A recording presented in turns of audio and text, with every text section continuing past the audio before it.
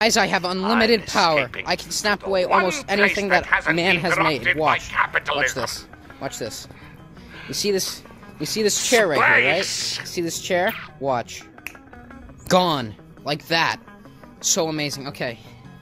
Let's see, what else can I snap out of existence? Okay.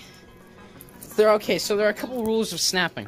You can't snap yourself out of existence. You can't snap huge things out of existence.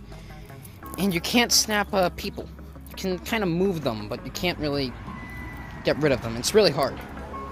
Well, okay, so I'm trying to look for something I can snap out of existence. Uh, what can I snap?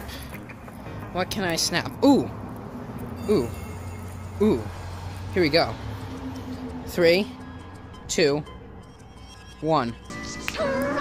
Oh, yeah, that's so amazing. Okay.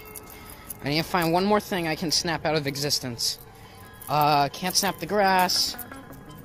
Can't snap any of this. Oh. I can snap the bird. Oh, it was just, it was right there. Oh, it's still there. Ah, never mind. It, it fled. It doesn't want to get snapped. Um, I need to find one more thing I can snap. Uh, really quickly. My snapping power is decreasing a little bit. Um, maybe I can snap. Ooh, I can snap the chair. Three, two, one. Oh my gosh, it worked. It was a little late on the reaction on that, so.